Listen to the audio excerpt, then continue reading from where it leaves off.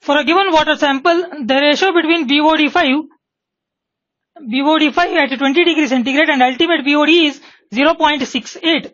That is, BOD 5 divided by ultimate BOD is equal to 0.68.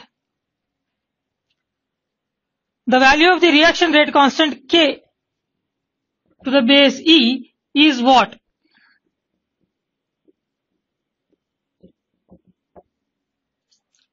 This is the equation which is uh, been asked. So you know the equation BOD5 is equal to L 1 minus e raised to minus KT.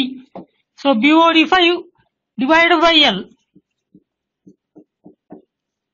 is equal to 1 minus e raised to minus KT. So L is nothing but your ultimate BOD.